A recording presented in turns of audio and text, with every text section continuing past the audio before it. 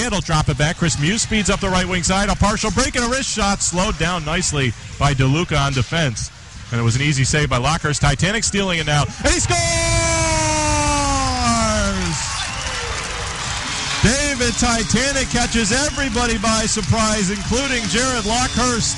And Oswego with 32.6 to go in the first has gotten on the board first. All set up by Chris Muise. Takes that shot in down low. Gets denied by Lockers, but I'm not sure how David Titanic snuck that one by. Beats Lockers top shelf glove side. Just really snuck it in, the tiniest hole he could find between Lockers and the back of the net.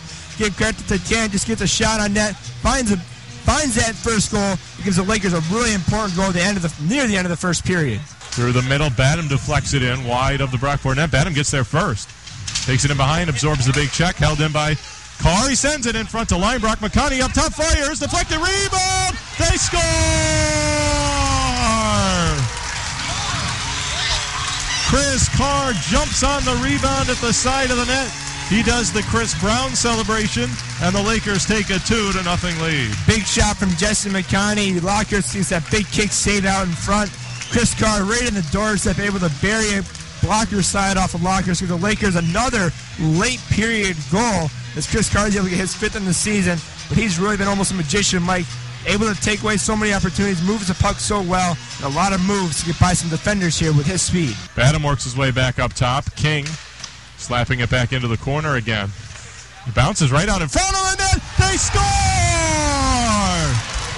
You talk about being in the right place at the right time and the right man as well. Chris Ayotte, top shelf, 3 nothing Oswego. Chris Ayotte, Mike, as you said, in slot area. He gets his 13th goal in the season. And just sloppy play by Brockport. Turnovers galore, not able to clear the puck out of their own zone. Just bad passes up, bad passes that were deflected by the Lakers forwards and sets up Chris Ayotte beautifully in front of the net to find the Lakers' third goal of the night. Lakers win the faceoff. They're 0 for their last 20. Chris Ayotte snaps his stick in two, and it goes all the way off into the corner. And he'll just step off on a change.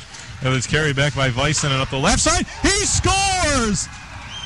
Vicenen with just a prayer, and it's answered. Short-handed, Brockport's on the board.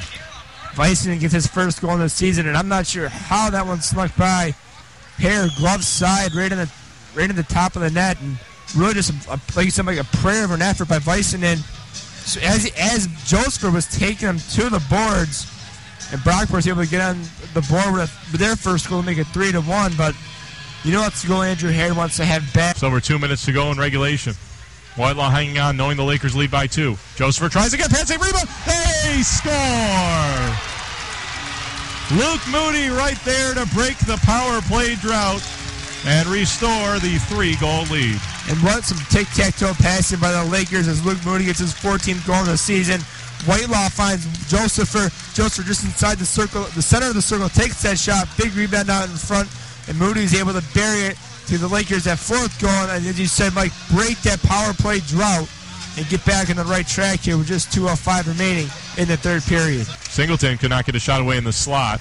Back up it comes to the point. Ferris plays it off to Muise.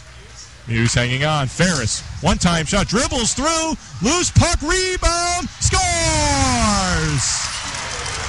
Chris Muise able to dig it out from underneath the pile and push it into the net for a 5 to 1 Oswego lead. Chris Muise, fifth goal in the season, a two point night for him, and just a garbage goal out in front as Lockhurst couldn't control the puck and couldn't find it in a sea of Lakers and Eagles in front of him.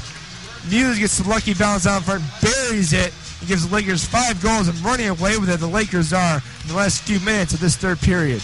Whitelaw back down low. Peter Rodriguez trying to move his way in front.